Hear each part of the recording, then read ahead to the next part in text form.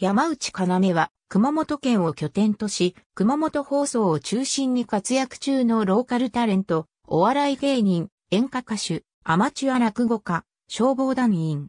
熊本市中央区出身。私立鎮西高等学校中退。上京し、小石則之と共に、ビュンビュンというコンビで活動。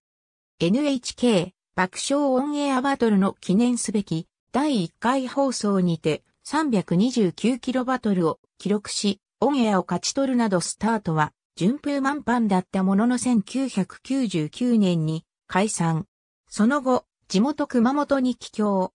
お笑い芸人としての経験を活かしながら、おとぼけ、キャラとして現在もタレント活動を続けている。地元民放である熊本放送で共演する機会の大井亀吉と K&K という愛称で活動もしているが、あくまでコンビではなく、お互いフリーのタレント同士である。また、夕方一番の企画で番組司会者である RKK の木村和也アナウンサーと K&K が3人で登場するとき、3K と呼ばれることがある。2012年10月23日、シンガーソングライターの空と入籍。2013年4月13日、熊本ホテルキャッスルにて、披露宴を行う。ありがとうございます。